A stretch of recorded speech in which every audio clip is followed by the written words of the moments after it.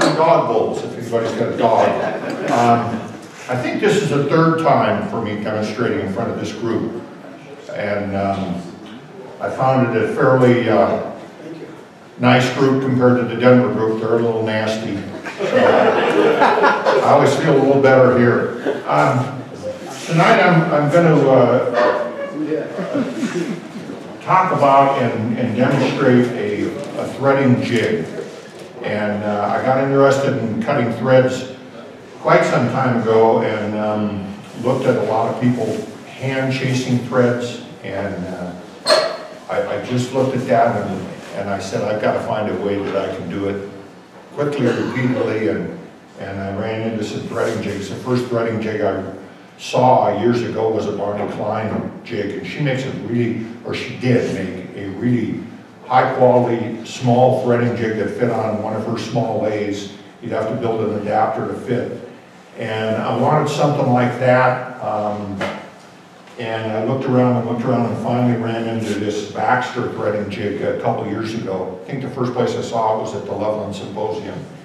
And finally uh, bit and bought one and uh, uh, now I've got two for a couple different size lathes and I've got an adapter so I've got um, a fair amount of investment into it. But what we're going to do is, is walk through uh, the majority of the uh, process in turning a elkhorn box and then cutting the threads in the elkhorn and the base and top are going to be corian. So uh, that's uh, the demonstration and I'm really going to focus on the thread cutting more than anything. I did a box, an antler box here a couple years ago with a press lid fit and I did a lot of talking about that um, I'll repeat some of it, but I'm going to really condense it on the thread cutting because I think that's what the most of the people that are here want to see. Um, and hopefully we'll uh, uh, get what you want to want to see. Uh, when cutting elk antler um, or turning elk antler, I get elk antler um, at the Jackson Boy Scout elk antler auction that is the third weekend in May. And uh, they sell, the Boy Scouts pick up elk antlers off the refuge, have an auction up there, and they also have private sellers that sell bits and pieces of antlers, and that's who I deal with because I'm looking just at the main beam of the antler as it comes off the head. It's the biggest and it's the roundest piece, and that's the only piece I'm looking for. Um, you can, uh, from the outside, before they're cut, they all look good, but there's a little difference in how thick the wall is, etc. on the elk antler, and I'll kind of walk through that. Um, if you can zero in, I'm going to talk first on this piece right here. And this may not show up real good. It, it, it doesn't, but the elk antler essentially it's got a core that is, um, that is very porous. It's almost like capillary tubes or hair. And uh, then it, that will be varying diameter and it will go out towards the edge and there will be a solid white border around that before you get to the dark bark on the outside of the antler. And what you want is as large an antler as you can get, but the bigger they are, the harder they are to find. And you want them as round as possible. And then you want that white border between the bark and that porous section to be as thick as you can get it. Because that is going to be the section where your threads are cut into.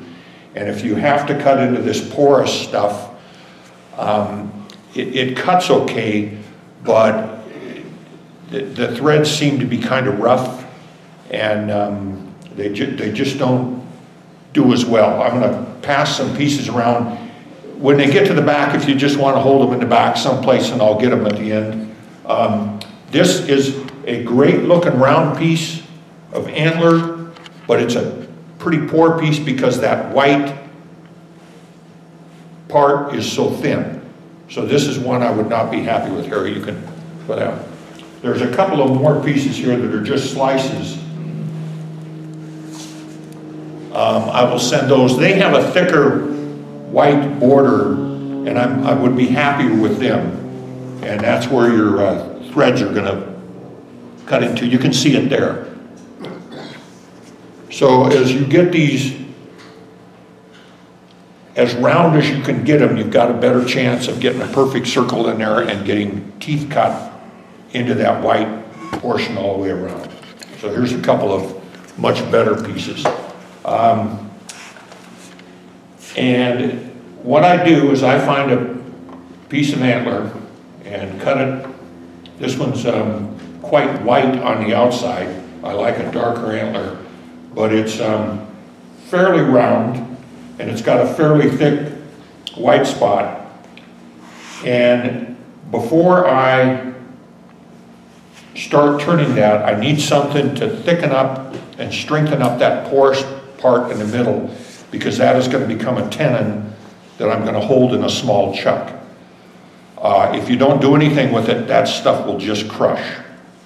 Some people say, if you look at the size of that antler, that would just about fit in a 50 millimeter jaw of a, of a chuck, and why not just put it in there and cinch it down? If you do that, the chuck determines the center of your piece and not you. And then you get into problems with where the threads end up and they end up in the wrong part of the antler. So you want to pick the center of that antler. So what I do when I um, start one of these, and I'll just do a quick, is, I'm going to be on this one right here, is I simply take thick CA glue, put it on a piece of wax paper because uh, the, the CA glue sometimes will go right through the antler and then it'll glue the antler to whatever, you know, like your dining room table or, I don't do mine on a dining room table anymore. But I just take CA glue and cover the top end of it with a fairly thick, and that's it. And then I let that sit, and it'll run down in there, and it'll harden, and I usually wait a day or two, flip it over, do the same thing on the other side, and then put it away for a week or two before I turn it. This stuff, if it's not pretty flat, it'll start running off the edge. And if you get the super glue on the outside of the bark and you want to keep that bark, uh, it's going to look kind of funny. So um, I'm going to put this over on the table and try to get it level. But that's essentially the preparation for making that porous part tough enough to make a tenon out of. And then when I've got, this one's glued, both ends. When I've got that dried, I've got a series of small discs that are roughly various eight inch increments and roughly the size of that piece. That is just a hair big. And I will center those, is that finish? Show where that red spot is a, is a center.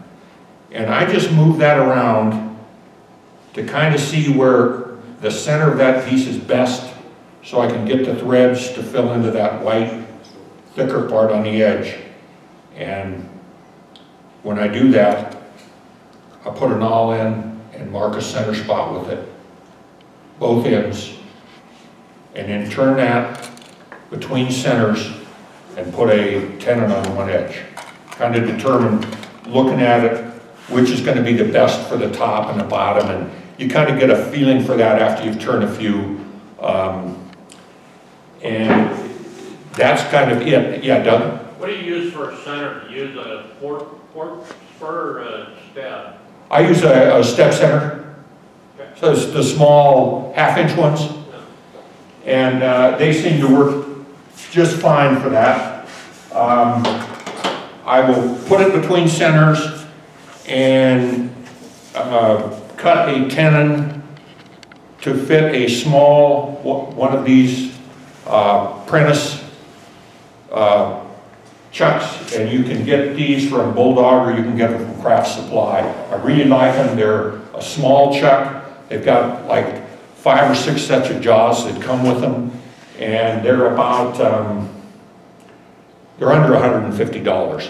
But, uh, for turning something like this elk antler where you've got a, a small tenon and you don't want the chuck to be way bigger than your piece, these are ideal.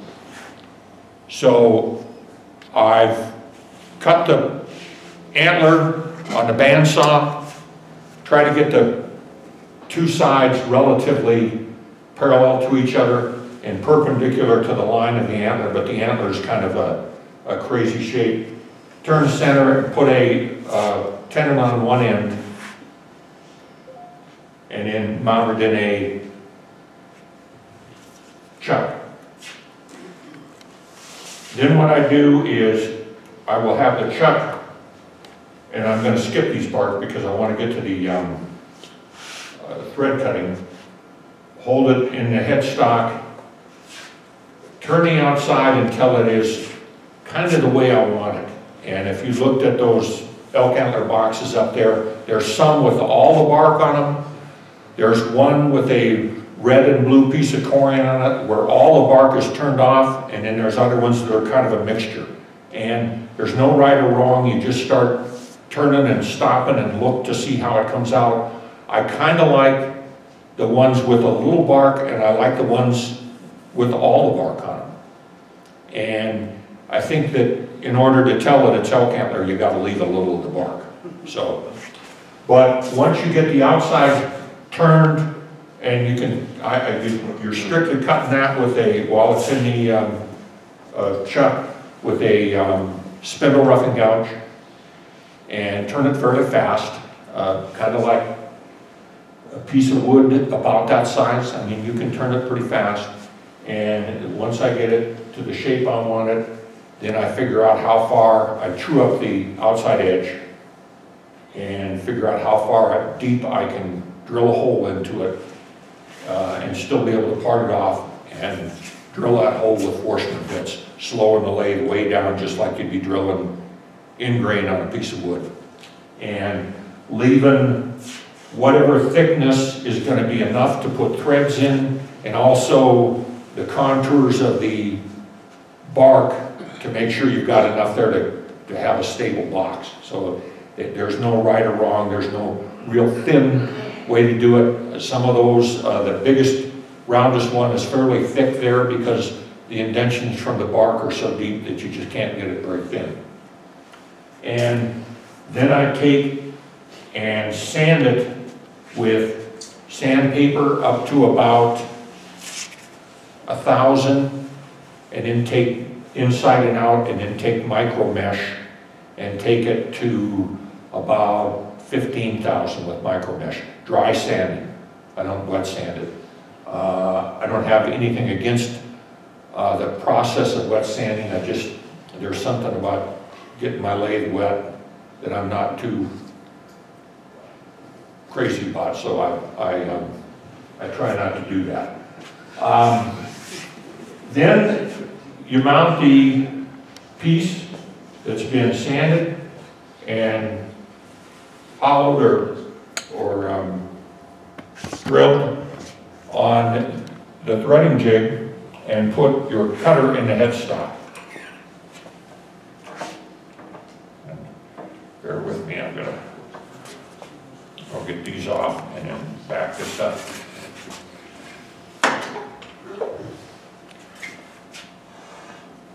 And the, the um, cutter is just a collet with a drawbar, and this one is a, um, sold by the same company, but a number of people sell these uh, cutters. They're carbide, um, the cutters themselves are probably about fifty dollars a piece, but they will cut a lot of boxes as long as you don't drop them. And simply put it in the headstock, put some spacers and washers on it so I can get a nut on it and draw it up tight.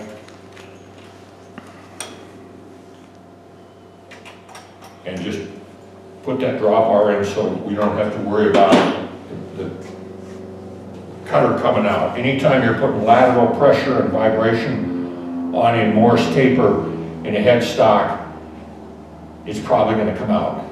Um, they, they say if it's a perfect taper, clean, that won't come out, but boy, when, and you turn this thing, you're cutting at about three thousand RPM, you don't wanna try to catch that when, when it's going three thousand RPM, because it's just gonna rip the devil out of it.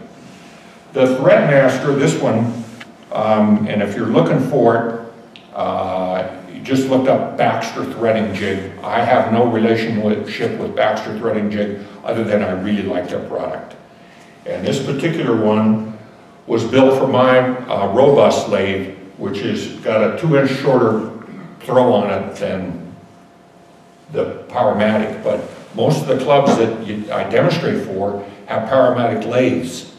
So I bought an adapter from the same guy to fit this to bring it up a couple inches.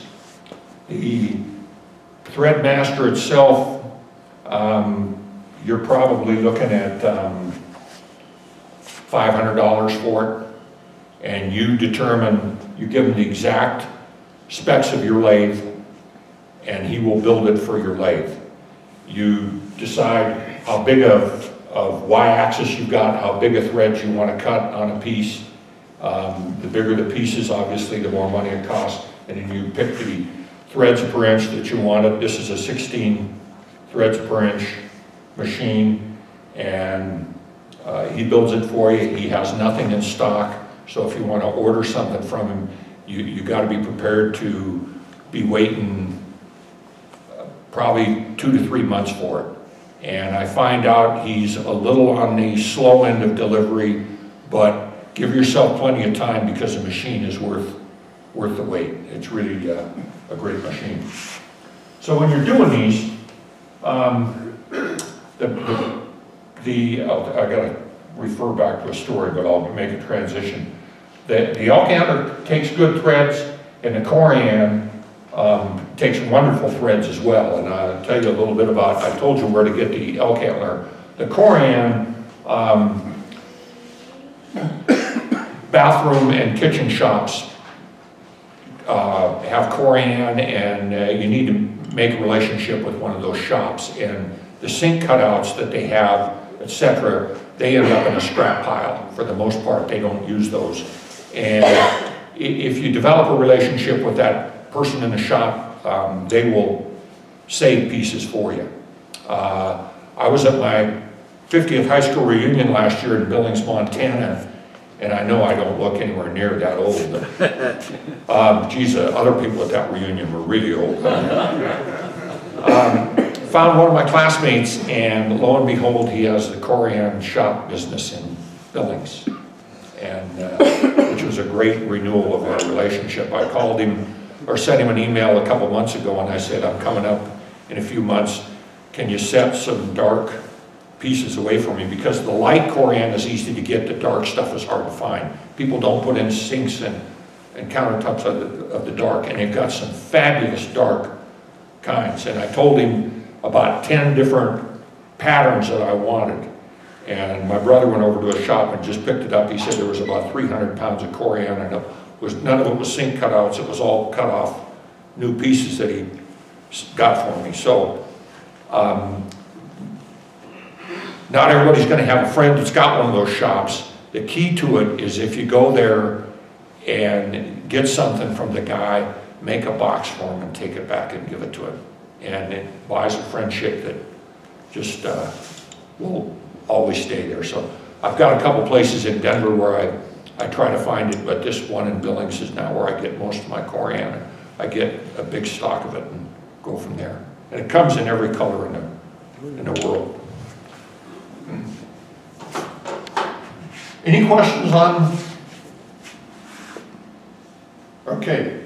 Um, The, the beauty of the, of this threading jig and the Bonnie Klein one is you can, since they're running uh, uh, between the ways, you can get back to the same position each and every time with a, with a stop if you put it in. So I've got the cutter in and it's placed, I bring the heads, the tail, or the uh, threading jig up, and bring it until the cutting edge is right even with the edge of the box. And that's where I want to stop it, and they've got a little stop that, again, fits into your, between your ways, that will clamp down. And you need to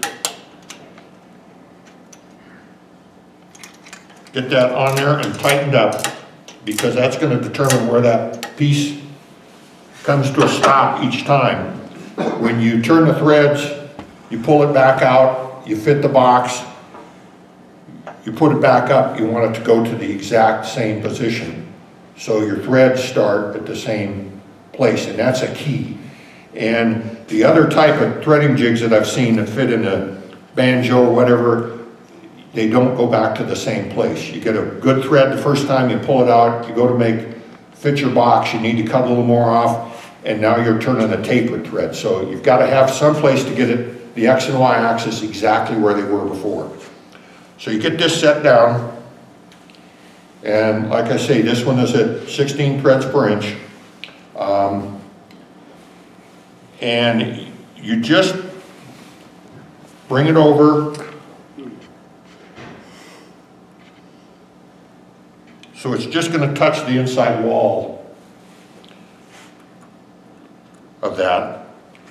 And this knob feeds the threading jig into the cutter at 16 threads per inch.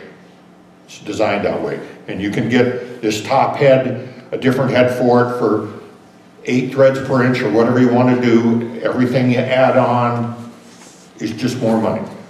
So- So when you're turning, when you're cutting this, you start the lathe, everything's, the headstock is secured down, this is secured, this is out of the way. The faster you cut, turn the um, cutter, the better thread you're gonna get. So.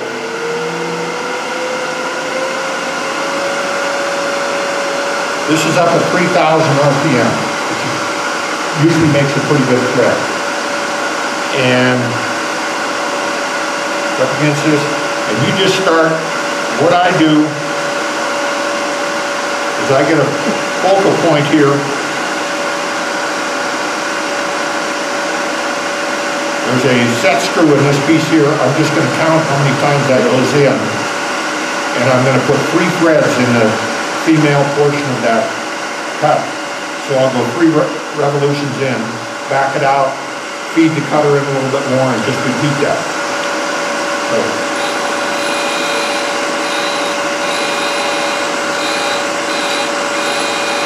Threads.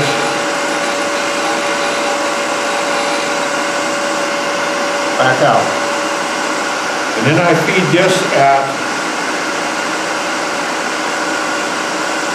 a hundred. Gotta make sure this is down. A hundredth of an inch each time. And then do it again. And you should be able to get, if it's perfectly centered and it just touching the first time, you, you should be able to do that in about, um, uh, you know, seventy thousandths and get a thread there. So I've gone in just repeat it again.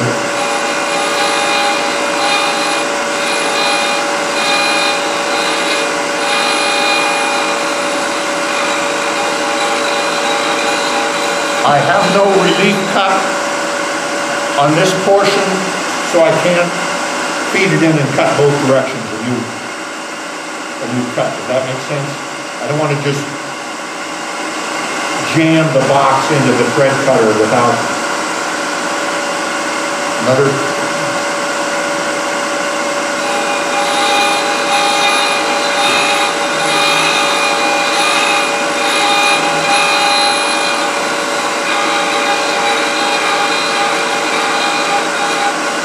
I first started doing this, if you, if you started out spindle turning and you made a mallet, and somebody gave you one of those KC wire burners, and you put a burn mark in that mallet, and then you sanded it off and you stopped the lathe and you looked at that and you went, man, that is cool. It's perfectly straight. I'm gonna do another one. So you do another one and, and so when you get the mallet done, it's got like a hundred of those burn lines in it. It's not like Doug's. But, you know, it, it, there's too much, but it's, there's so much fun when you first start turning and then you realize as you do a piece like that, maybe three lines or something is probably all you need to make it pretty. When you're doing the boxes, these threads are so much fun, it's, it's kind of neat to put a whole bunch of threads in, but you really only want a couple threads to hold that lid on, because you can't, you know, if, if you're, it, it just doesn't work. So about three threads is all you really need to put in a, a box.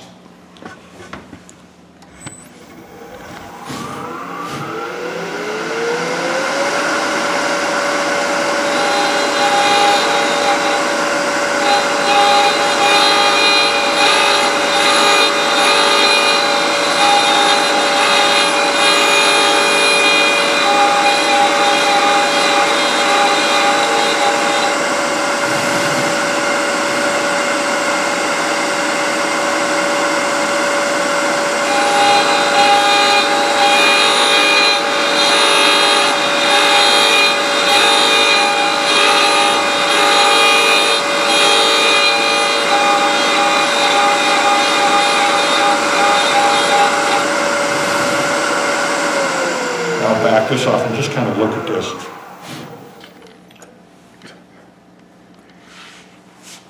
And you just kind of cut these to where the, the thread is, has got a peak at top of it, the, the thread is not flat. Um, And I think one more, and we should be pretty close. Um, You can also turn left-handed threads with these. You gotta get a different top that feeds, instead of right-handed, it feeds left-handed. Um, So you can, and, people ask me, there's a left-handed thread box up there. Why a left-handed thread? And I, I don't have the answer to that, other than it's, it's pretty cool to have a left-handed thread. There's a, an example right here. Um, This is a left-handed thread. And um, it, it, no matter how many of these you see and how many, it it even confuses me on trying to turn it on the lathe because you're always doing things the wrong way. But um, if you don't warn people, that, that lid is on there so tight you'll never get it off. So it's left-handed, and um, be aware of that. But you can do that as well. And I don't, you know, unless it was a, like your uh, pedals on a bicycle where the one is right-handed and one is left-handed so they don't spin out as you're going, I can't think of a really good reason for it. I'm gonna put one more thread in there and then talk just a little bit more about a couple things I didn't mention.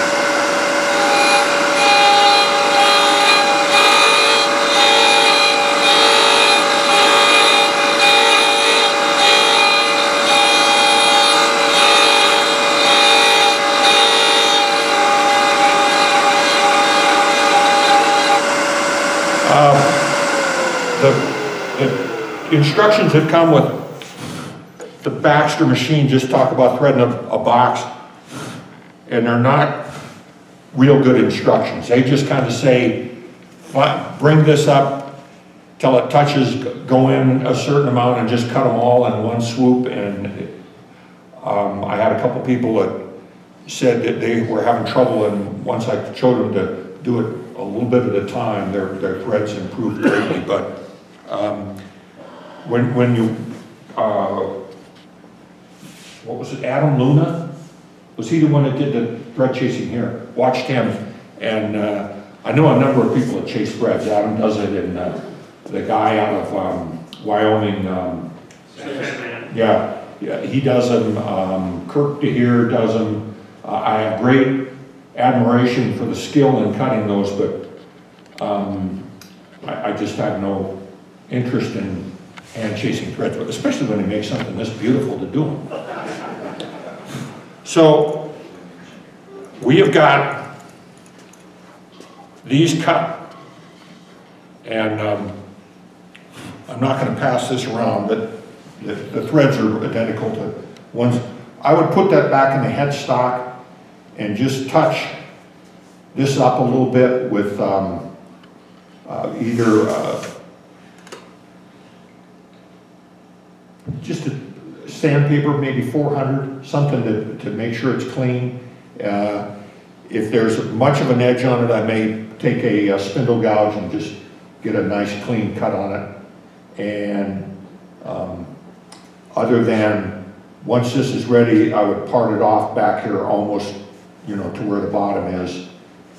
Put it on a wooden jam chuck and chew up that edge again. You want the bottom edge of this to be absolutely perpendicular so that when it, since it's an odd size around it, when it sets on the base, you don't see any highs or low spots. That makes sense? Okay. Um, when, when I'm doing that, these, these are obviously cut to whatever size, uh, Forstner bits I got. And this one was, I had a lid one, one and seven sixteenths, whatever it was. And you just, I've got quite a few of them, and you go until you think you're as thin as you can, but the integrity of the box is gonna be, you mess up your camera, where you think it ought to be. Then I would take the top, and it- this has got a different thread on it, so I'm gonna change the spindle out on this.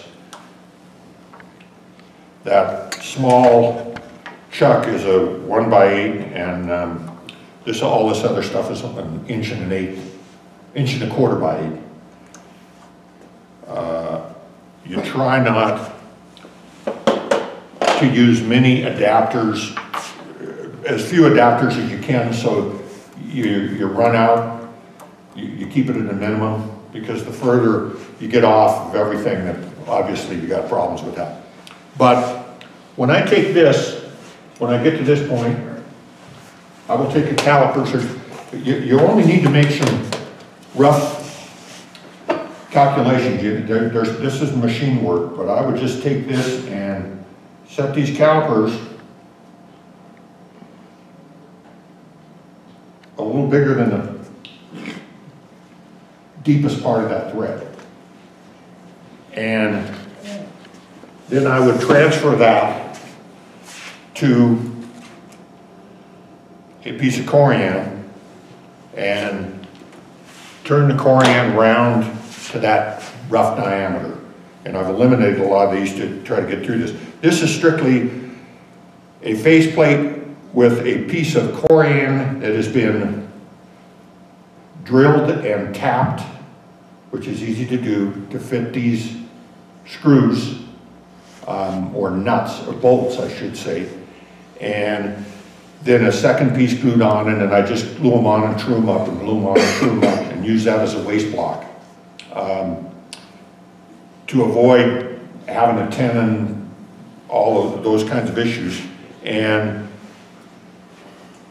I, I turn the circles of corian first on a bandsaw, then glue them on this with CA glue, let them set 24 hours. Uh, it's probably, you could probably cut them before then. Um, but this is going to be the male portion of that. And once we get the threads cut in this, we will part it off and then I'll make a jam chuck with threads to hold that to finish the outside of it, the bottom of it or the top of it. So we go through the same routine again of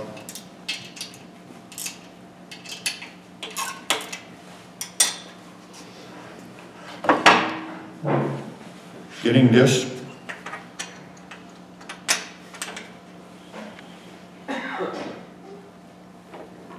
to the outside of it.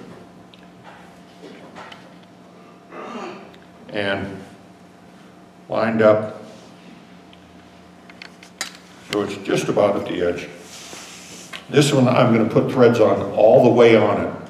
So I'm, I'm not worried about a point where I've gotta count three threads or four threads. I'm gonna put threads on it, all the way on it, fix it, uh, fit it to the box, and then when I'm done, cut some of those threads away, so I just have the threads in the box and on the lid matching. There's no threads really sticking out, and then build the top from there. So, same thing, you gotta have a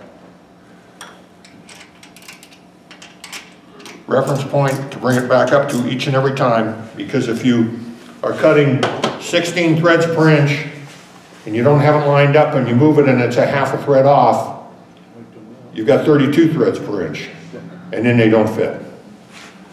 So, same thing except this one you've got to think a little bit about because the way this is set up, since this is a male thread, when you feed this into the thread cutter, the thread cutter has a tendency to want to take and pull this off these threads. It's going the wrong way. Does that make sense? And you say, well, all you got to do is move this over and cut on the other side, but you've changed both of them. So it's still doing the same thing. When you're cutting the female thread, the cutter is forcing the faceplate onto this. When you're cutting the male thread, it's, it's wanting to face it off. So I just take a wrench and I got that double spacer. Just get it as tight as you can.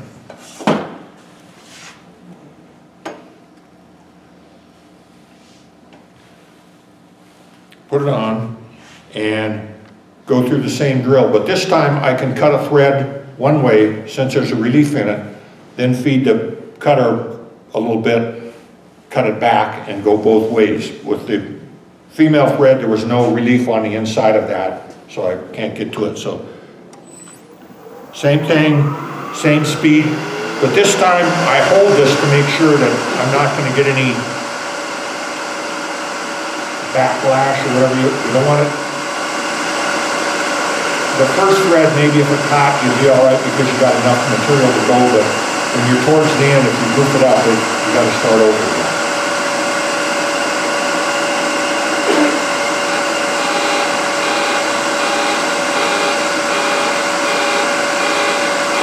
And you don't wanna get your hand near that cutter. And I'm not speaking from experience.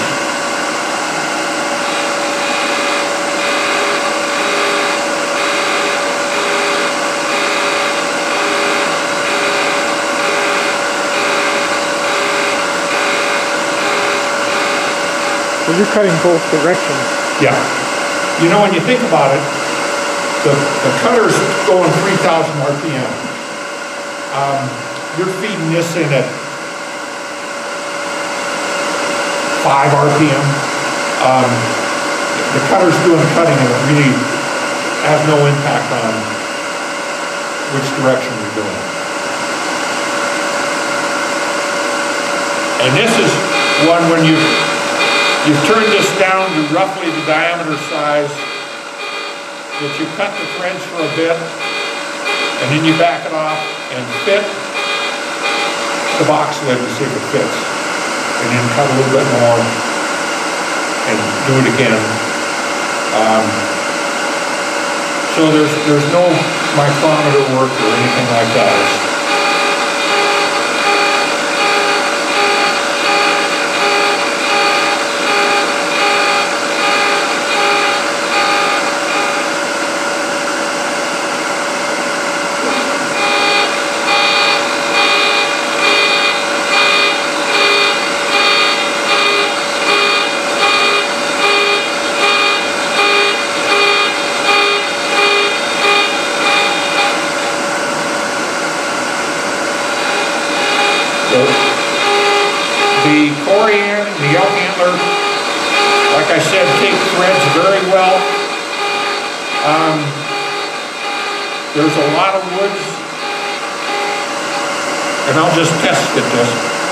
There's a lot of woods that will take pretty good threads.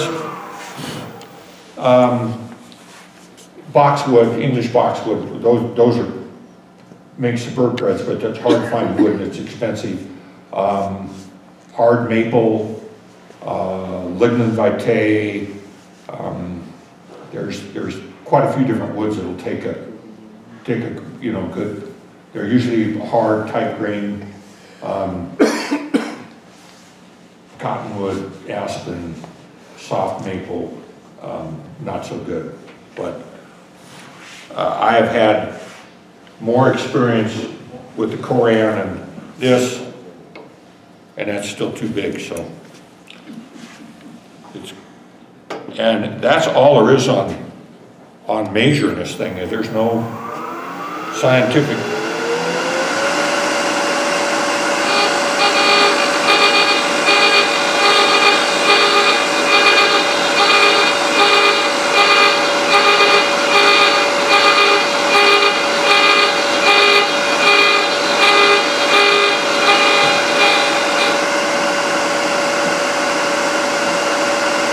And it's easy to overshoot and get a real loose fit. And if you get a real loose fit and you're not happy with it, you get another piece of coriander and start over. The beauty of, of this is, unlike if you're trying to, if you got a piece of nice figured wood and you're trying to get a top, that's almost there. And a bottom and the, and the grain to match, you gotta do both pieces perfectly the first time. With a piece of elk antler and a corian for the lid, you can goof it up and go back to the corian pile and start over and, and your box is not, not ruined.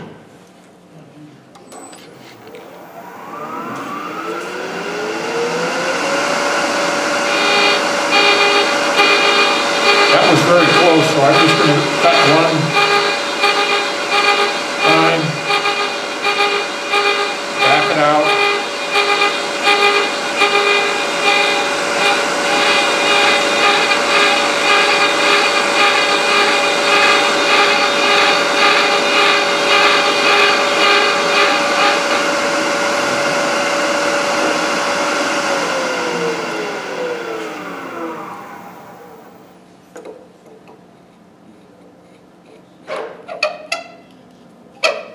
It's almost there.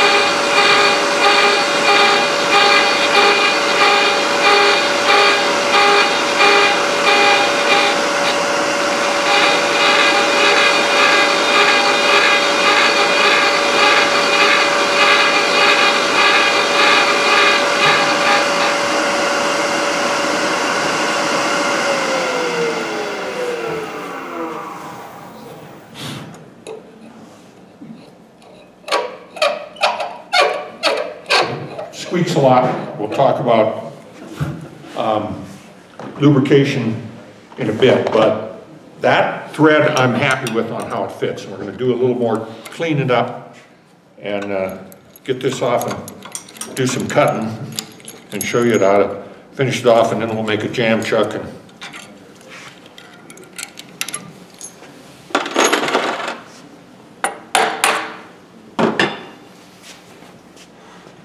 To be for me.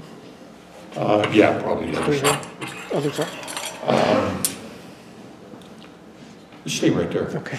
okay? The cutter doesn't, um, the cutter really doesn't get very hot, but I'm not taking much material off it one time, so. And when I'm cutting the, uh, drilling the hole in the elk antler, I, I do the same thing with the, um, Forstner bits. I start with about a inch bit, maybe three quarter inch bit, and I make the first cut as deep as you wanna go. A box that size is two inches tall, so I cut it one and seven inches deep. And then I take that Forstner bit off and go up in a quarter inch increments. And do a quarter inch bigger and a quarter inch bigger until I get to the diameter I want to. And I've got a lot of Forstner bits to the sixteenth of an inch in, in size. But the first, when, when you're cutting in grain with a Forstner bit, the, the one that gets the hottest is the one that's taking the bulk of the material out the first time. So, the least expensive Forstner bit to ruin is the smaller diameter one. So you, you do the hog work with the smaller diameter one and then do bits and pieces. And the Forstner bit doesn't get as hot and, um, you, you don't have a, a tendency to ru- ruin those big Forstner bits by taking them out a little bit at a time. And I know that's a little time consuming, but it, it saves on Forstner bits, and the big Forstner bits get kind of expensive. So, I'll get this out of the way. You, uh, grind the spike off of the enforcement, the center? So you- um, so that just leaves the, the hole in the bottom? Uh, I go all the way through, it's just a cylinder. Oh. They're right, look at Oh, the, yeah. Gotcha. no, I mean, uh, uh, great question. I haven't found a good way, um, to hollow the boxes any other way. It, it- it's, it's tough material, and I wish Pam was here. Uh, She, uh, she did an elk antler box few years ago after I did a demo, and, and it was one that was up on a roof that had been in the sun and weather for quite a while, and she said it was so hard. And uh, I had a piece of elk antler that, I don't know where I got it, but it showed that same weathering, and I was turning it, and it was brutal. So you, you want to find elk antler sheds that are pretty recent, haven't been out in the weather as far as um, up on a roof where they bleached and, and gotten the elements, because they will get rock hard. Uh, Obviously, the elk antlers that you pick up in the forest, um, you gotta get to them right away, because if, if you don't, another person hunting them will, or the animals do, and they chew them up, they're gone. So, on, on this, Question, Rick. yeah, So when you drill the Forstner bit, you need to do any more finish on that inside? yes, sanding it the same way to, um, you know, starting with one eighty, going up through the grits to maybe a thousand, and then going to the micro mesh, going to fifteen thousand. And is there any concern about toxicity or anything with the elk? Um, uh, Kip Christensen says, be careful of it. And um, that's one of the guys that, you know, I first started noticing turning elk antler besides Pete. Uh, When I'm doing it at home, um, I've got a mask on. I just um, invested in one of the helmets with the batteries and it blows the air um, to uh, try to eliminate that. But yeah, when I'm doing it alone, I, the corian and the elk antler, I protect my lungs. You need to do that with anything. Yeah. So on this, um, I would slow it down, which I have.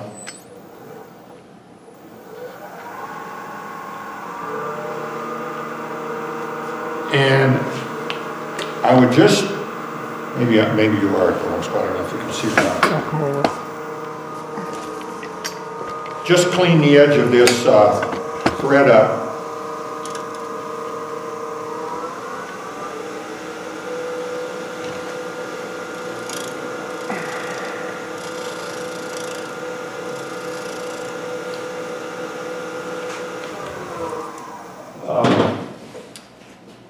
Sam, this edge, this is going to be the bottom of the top. Make sense? Yep. It's going to be in the dark most of the time. Okay? And then um, this is a little rough, and this is the only one you can get to. So a lot of times I will take sandpaper, um, maybe 300, and clean up, uh, this is 400, doesn't matter.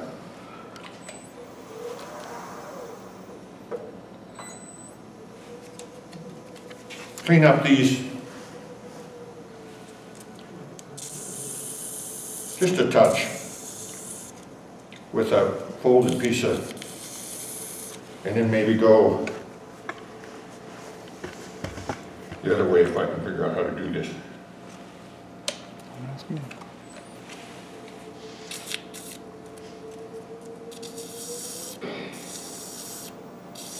And get, just smooth that up a little bit more.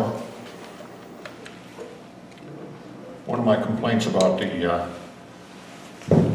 35B is that you can put it in reverse without knowing what you're doing and then all of a sudden, uh, you turn it on, you can't tell, you know? Then you spin it and the thing comes off, you go, what? So, I've got this cleaned up, uh, no- no lubrication on them until I'm done. But test fit it again. That's fine, I mean, it, it's kind of noisy, but a little bit of lubrication will come off. And I'm gonna cut, this is on all the way, I'm gonna cut these threads off that are sticking out. Okay? And there's about four of them.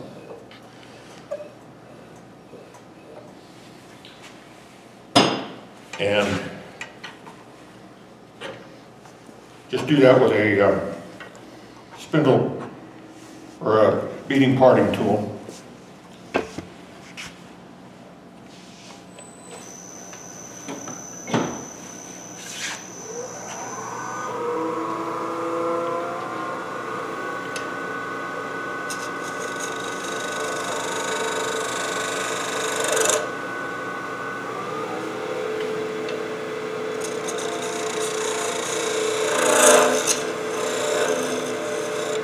And depending on the style of the lid,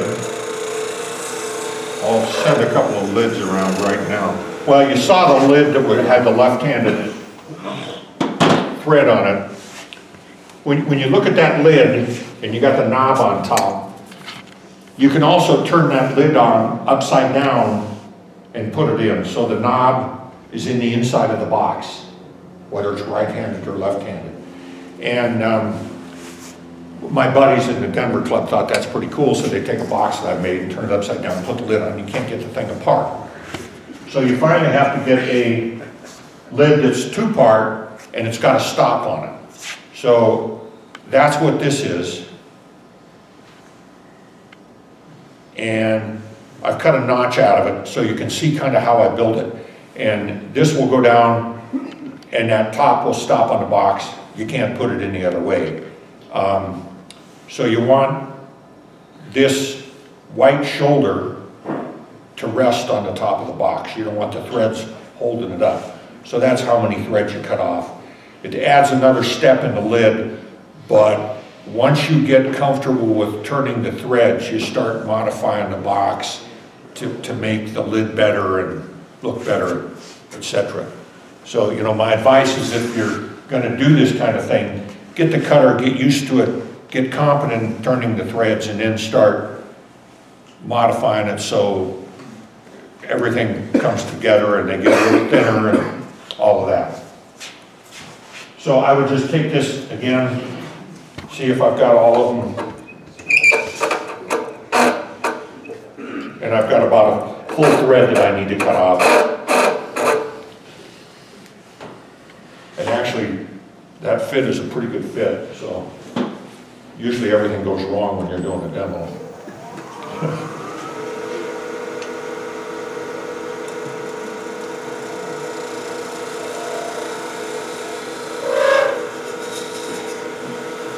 And then I just make this, make sure that this tenon that I'm putting on it is straight as you can get it, um, and parallel to the ways. So when I make a lid that's gonna go on top of that, um, it's gonna fit just right. Uh, sand this edge, maybe put a couple details in it. I've already drilled a quarter inch hole in it, just to save time. Then I would part this off. So we'll part this off. And, um, back it up a little bit, I've got a, you can tell this lathe is new. And it's a, it, um, much better lathe than the 3520B. I think they've had an improvement. So I parked this back off about where the seam is from the white waste block to the dark.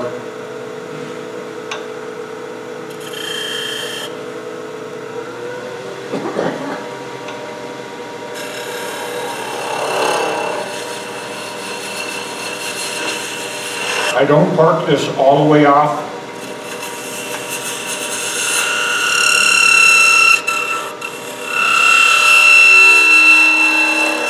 I'll tell you why.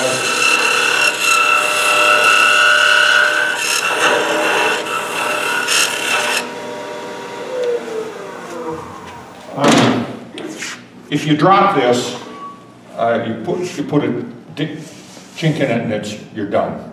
So you can't fix that. So I just take and uh, cut it to where there's not much left and take a Japanese saw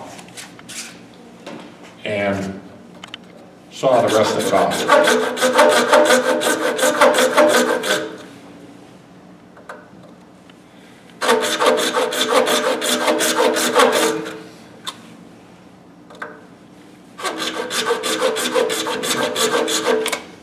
And um, it's pretty junky at the,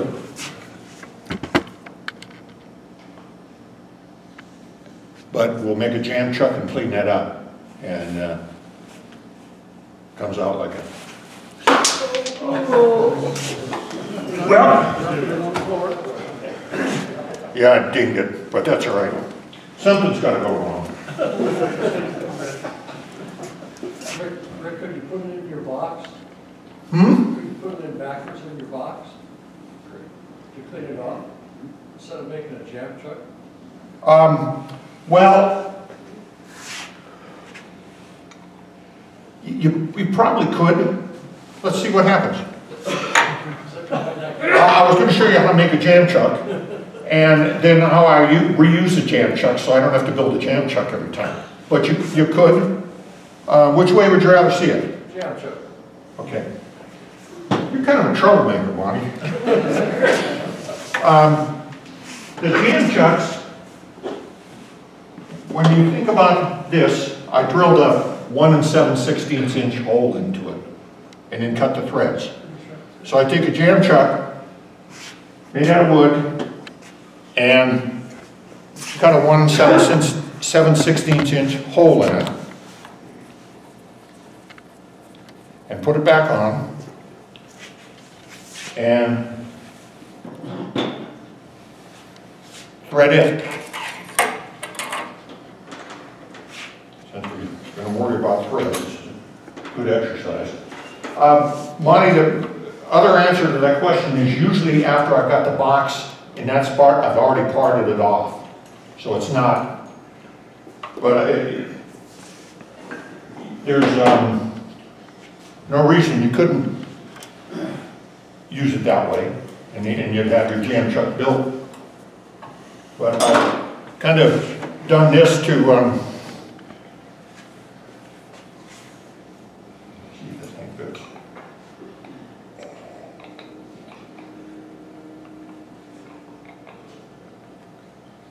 Still goes on. With this one, uh, when I'm done and I get home, I park this off, I finish the box, I'll make a new lid because I, I want to do some sanding and that, so I- the lid is going to be expendable anyway. But I do the same thing and cut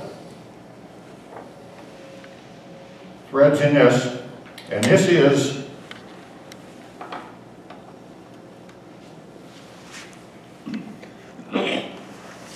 This is soft.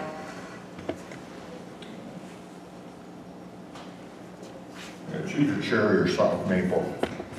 But for the purpose of making a jam chuck, it'll take threads well enough, because all you really gotta do is hold it and not worry about how pretty it is. and then I'll uh, show you the modifications I've done. But this is the same drill. We're cutting a female thread this time, so you don't have to worry about the cutter trying to spin the thing off.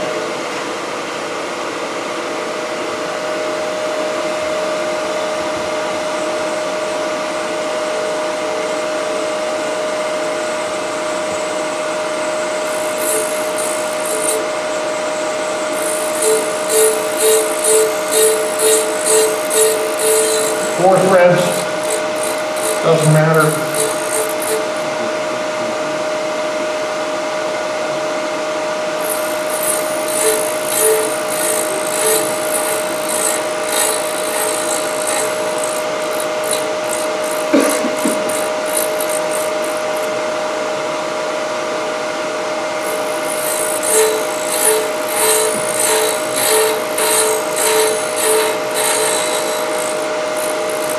Some people say that got a wood that is not taking threads very well, you can spritz, spritz it with kerosene. Somebody else told me you can take and um, brush on a solution of Dawn soap and mineral oil, and it will cut better threads. I, I don't know if they will or not, but essentially, I cut threads in this box until it fits. And it fits, don't worry about it. And then I take it to a bandsaw, and I cut four slots in it, or two slots, through the, through the bandsaw turn it 90 degrees, do it again, right to the bottom of the hole. And then put this in it, right? And then cinch the hose clamp down and put it in. Um, I'll pass this around. This is the quality of threads that's in that wood. That's all you need to hold that for a jam chuck. But I got kind of tired of building jam chucks and cutting one off and then having to build the same one again, so I started using a material called Delrin. It's a plastic that DuPont makes. And um, it's non-brittle, it's, it's uh, very machinable. And uh, that's what it was designed for, so it takes threads really well. And when I make one that's got a one and seven sixteenths inch hole in it, I keep it and I've got that for one and seven sixteenths, and as I need them, I just keep building them. So here's one that I built out of this Delrin. And it's on a smaller faceplate, so I've got to put an adapter on.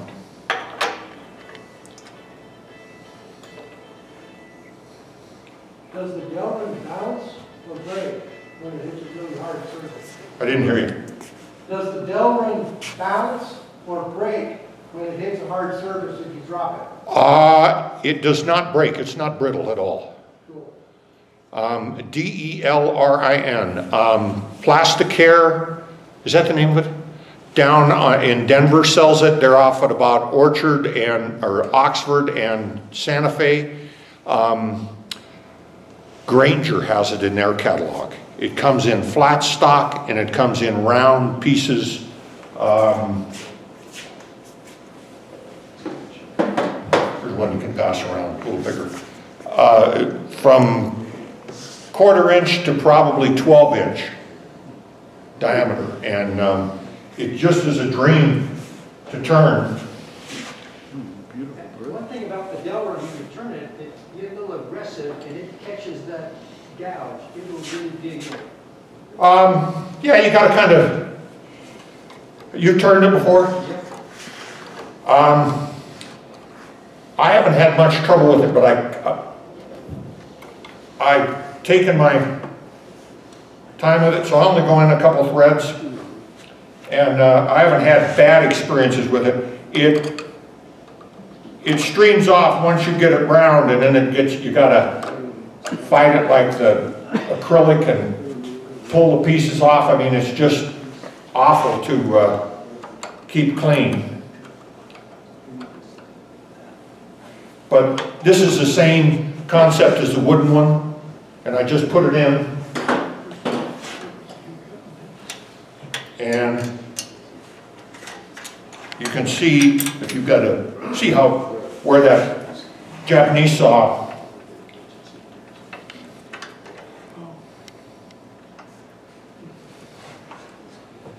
But once you, once I've got these, um, jam chucks built, you know, I don't have to do anymore. So I've, I've got about probably twelve or fifteen of them made for various sizes. I've made, um, I don't know, probably seventy-five or eighty elk antler boxes, but not all of them have been threaded. So, uh, hopefully the, the days of spending time building the jam chucks is gonna be behind me. Do I need to warn anybody about this? You don't wanna put your fingers on that side, because it's just gonna, sm- and it does it pretty fast.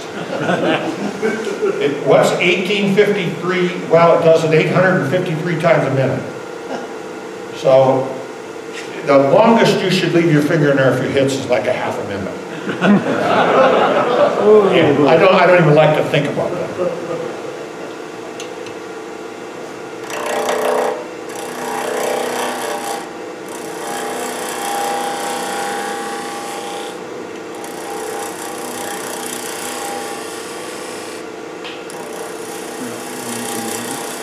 And you just keep doing this until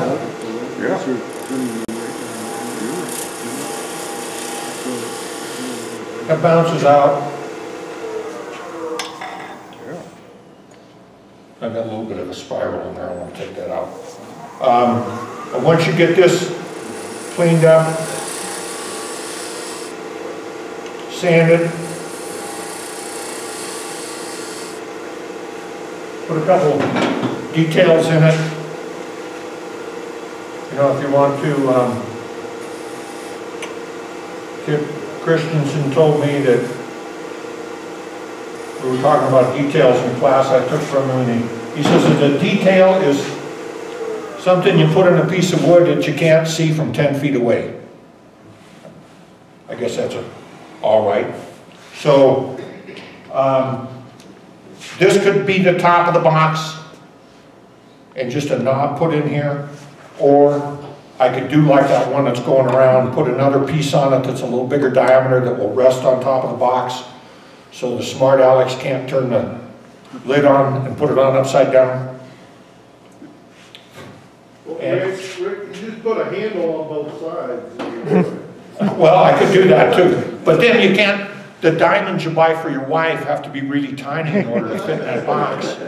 What kind of cheapskate are you?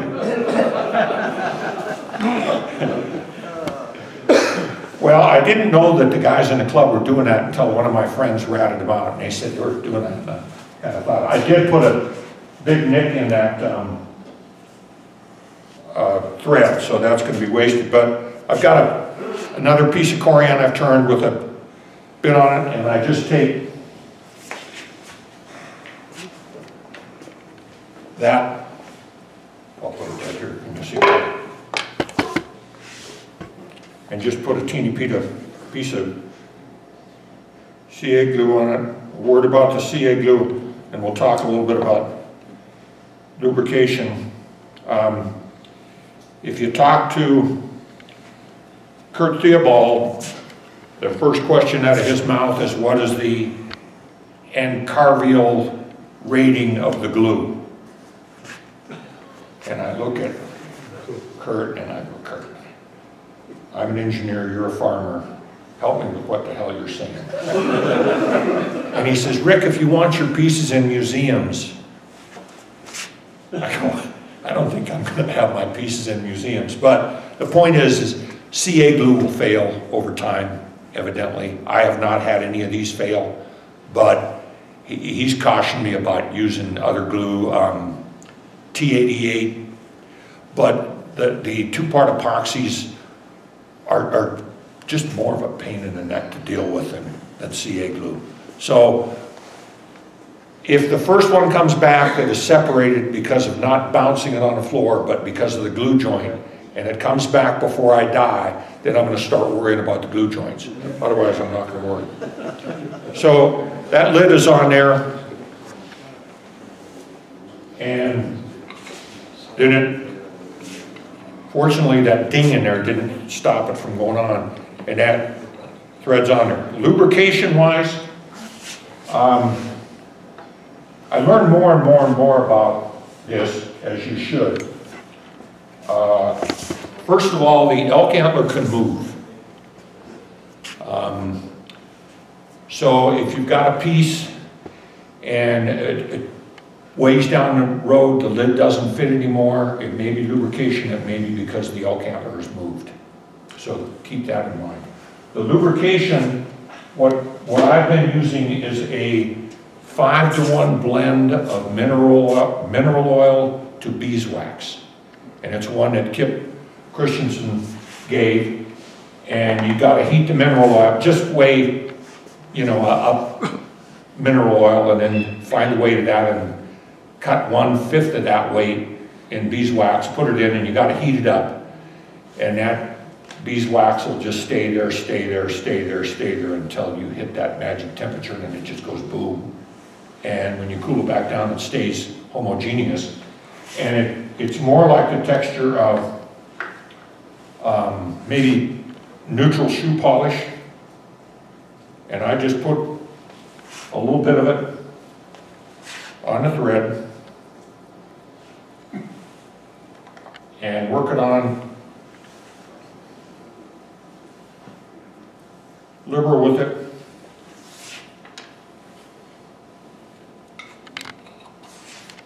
And then working on, it, I mean, it's night and day. You, that rough part that we had when we first started fitting it, uh, is gone. And then I just take the excess with a paper towel and, um, wipe it off.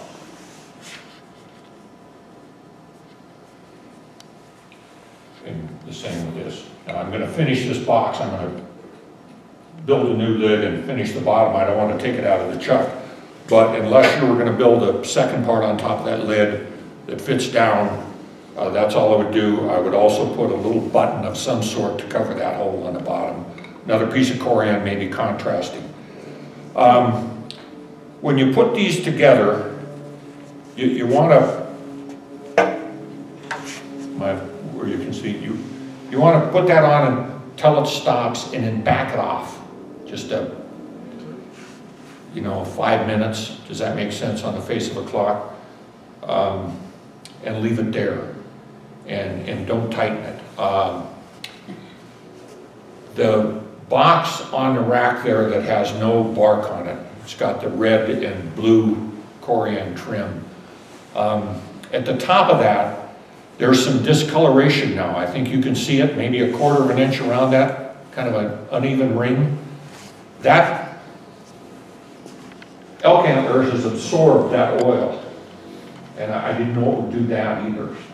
So you, you've got to, with the elk antler anyway, re, um, lubricate it occasionally. I, I gave a box to a friend of mine about a year ago, and he couldn't get the lid off it. It was on the shelf for a long time, and he was showing somebody, and he showed this box, and then he couldn't get the lid off. He had to take a pliers and some leather around that knob and break that and then lubricate it again, and it's fine. But I don't know if the elk antler's pulling that out, um, what is going on, whether the, uh, the, the oil in that is just drying it, but I'm, I'm learning more about the lubrication of them as well. So there's a little bit to do them, but don't tighten them. Uh, that's a thin box so that, um, oil does seem to uh, show up more than the, than the thicker walled ones. But, um, just you know, kind of play with it, but don't put them on tight, and a- again, if you, uh, if you lubricate them once in a while, you could probably use, um, neutral shoe polish, you might try Renaissance wax, um, a number of waxes, yeah. When you buy your antlers, how do you know that you're gonna have a good antler as far as the thickness of it? Well, I buy my antlers already cut, Oh, so I can see them. Uh, But if you don't, if, if it's a solid antler, um, you have no idea. And uh, that, that's a gamble. The problem with that is, is uh, antler goes for um, 20 bucks a pound. And when you buy a whole side, um, they can weigh 10 pounds on each side. So uh, you know, you got two hundred dollars or more into that antler and you only want three pounds of it, the rest of it's gonna be, it's not any good to me, uh, because it's, when you get away from that main beam, the cross-sectional area of it gets to be more like of an egg, so it- you, there's no place to cut threads in it, it's not round. And, um, so I find, uh, people that are selling them, not the Boy Scouts, but are selling pieces. And uh, they will cut them up and cull them for you. Uh, The big market, Clarence still here? Yep. We've had this discussion before. Um, One of the markets for elk antler is dog chews, and it's driven the price up.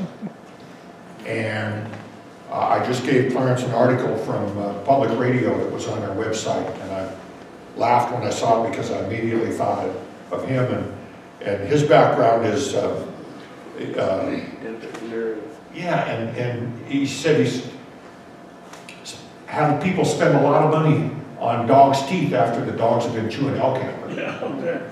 So he loves it, well, he doesn't. Um, So I, I would be careful, I'm not saying that's what you should feed your dog, but that's driven the price It bought my last, last lathe, so. yeah, you know, elk antler's gone for four, or five, or six things. Um, It's, it, it, the, the big ones, you know, that somebody shot, they, they wanna put them in their hall and say, I shot that. Um, And some of those people legitimately shot those elk and probably braved some tough times to do that. Other people will buy those matched pieces and take them to a taxidermist and then maybe fib a little bit, kind of like Lon does with the fish he catches. And then they make chandeliers out of them. Um, They make stuff like this, there's a small market for boxes and knife handles and belt buckles and pins. And uh, then a lot of them are dog chews and a lot of them are shipped to the Pacific Rim and they, they're ground up and used as a a part of an aphrodisiac. Um, You want to come into my shop and smell that shop after I've been turning elk antler for a while. Boy, good luck on that aphrodisiac. That stuff is nasty, it, it just smells. How's it work? Remember I gave you that thirty pounds of it? I, I, I don't know, I don't know. I, the smell is so bad, you know, they, um, I don't know. Have you ever, uh, used the buttons on anything? Um, The thick part of the antler? The, the button, um, I've got a- quite a few buttons, uh, they've, uh, a couple of my friends have, three people I know make boxes out of them. And they make just sensational boxes, but they're a different shape, they're like a, a small dish. Uh, Kip Christensen has got one that there's photos of all over, and it's not for sale. Pete Holtis uh, has done one, I've got one of Pete's, and uh, Grove, um, Grove Brown in the Denver Club does it. And uh, uh, he did one for me, I traded him some elk antler for a finished box, and uh, they are spectacular. I have not done those yet, but that's kind of on the list. Well, if you've got a special part of the antler, and the antler's fifteen bucks a pound, what does the special part cost? That's cut and everything. Um, Well, you start to ask really personal questions. This guy that I buy from, uh, he doesn't care. He call, he cuts them all up and sells them as dog chews. It doesn't matter the color they are, the size they are, or anything else. So I've worked with him and I've made him a couple boxes and he cuts those pieces off for me and puts them in a box. I go up there, look through them, take this much, we weigh them. I pay. I I tell my wife, go run and get us a cup of coffee. Um, I think I'm paying him eighteen bucks a pound for them. About, not much more Yeah. than the going price, but they're good pieces and I'm willing to pay a little bit more. Yeah. I just read an article, starting this year, the state of Colorado is requiring a license to, to go after sheds. Really Yes. interesting. And and depending on what side of the uh, I-70 you're on, there's also a season for finding the sheds. But it's a $40 license to go out and look for antlers. It, it, that's a, it's a real, um, competitive market picking up those antlers. I, I, I didn't realize, uh, how competitive it is to get those things. It's a two hundred fifty dollar fine in Rocky Mountain National Park. Well, That's yeah, I, not- a word of caution, you can pick them up in national forest, you cannot pick them up in national park, or the elk refuge north of Jackson. Lee, Let me make a comment or two here. First of all, uh, the guy that invented this is a good friend of mine, and his Willard uh, Baxter. He was a pastor of the Baptist Church in Atlanta, Georgia, and uh, he and I were elected to the national board, AAW, back in 2000, and uh, so I got to know him, but I uh, noticed that I've got one machine just like that. I've got one of the first ones he had before he passed on. We lost him in 2004 to cancer, and uh, he was a very, very good friend, and we kept in touch. And uh, I know most of us don't have the kind of money that uh, Rick has, and so he does. Uh, he gives us how many pieces we got. Mine is a small one. I paid about two hundred and fifty dollars. He may give me a little break. I don't remember. But I bought one of the last ones he had before he died. He ran a little shop uh, as well in Atlanta, selling uh, tools and uh, accessories and so on. But uh, this has turned a whole new uh, life for me because I, I've turned it for kids. And uh, of course, Kip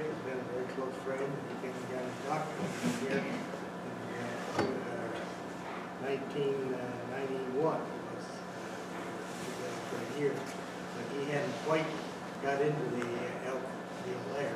But I have mine, my mounts on a uh, mini lathe, and uh, as far as I'm concerned, you can do the same thing on a mini lathe. Oh. And a lot less. You got about 10 minutes. I know your machine there will cost a lot less than that one right there. I've got the same thing here, but uh, and, uh, I'm really impressed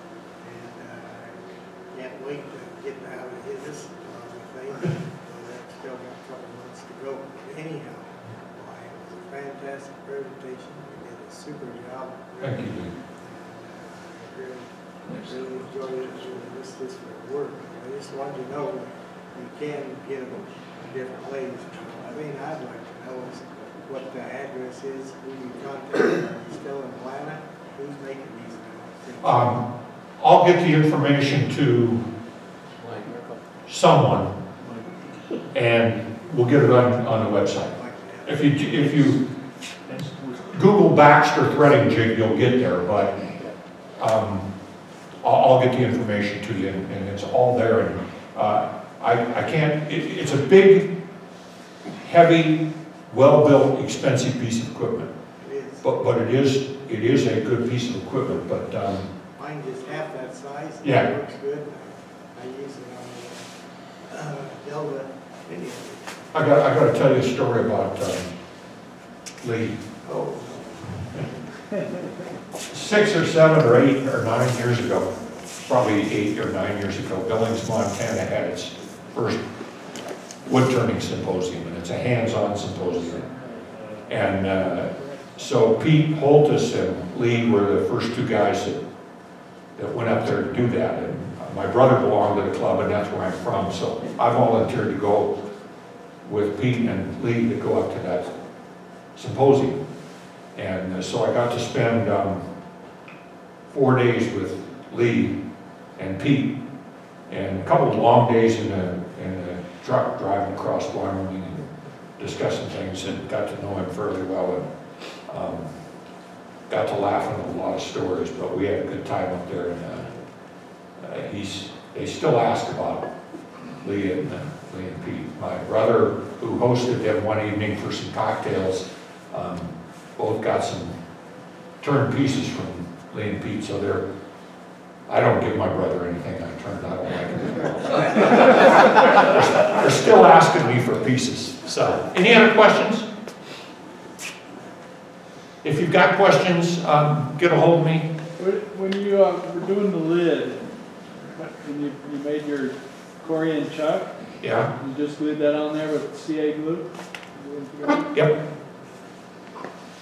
And, you know, I, I- I just try to smooth them up and get them straight, you know, perpendicular to the way of bed, you know, and sand it quickly to 180 and do the same thing on the other people, the other piece and uh, put the CA glue in and rub them together so it's spread evenly and, and just pinch them a little bit. You don't need much pressure on them. Um, and, and I typically, anything I glue, I leave 24 hours before I turn it. I, I try to think far enough ahead, um, especially if it's not between centers, you know, but it's just crazy not to be able to do it. you know. I haven't had the problem that Curt is warning me about, that sooner or later the CA glue is gonna fail. We'll see, like I said, uh, Smithsonian has not contacted me yet. And you just uh, glue the bottom piece on there Yep, there's a tenon on it, you know, maybe an eighth of an inch tenon, and um, just pop it on there. And the same thing, uh, you, you- you cut it, the bottom of it, the top of it, get the on, it, uh, fit the box, part it off, turn around, put it in a jam chuck and, and do the same thing. But I really wanted to spend more time on cutting the threads and make sure that process was good before you worry about the other, the other things. Can, can you get power feed for that? That seemed to be kind of, you know, a lot of, Yeah, but I have, I'm gonna look into that. okay. But it's hard, it's hard to find a switch, it just turns on and off, three threads. Yeah. Okay. reverse it too. Well, thank you for uh, giving me the time.